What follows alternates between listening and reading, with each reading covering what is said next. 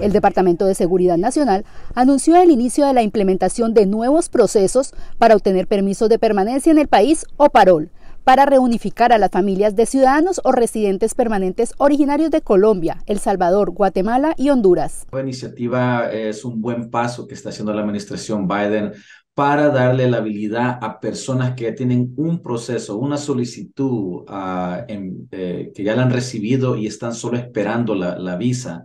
les daría la oportunidad a esas personas a ingresar a Estados Unidos antes de que la visa esté disponible. La medida busca favorecer la inmigración legal a Estados Unidos y bajar la presión en la frontera sur con México.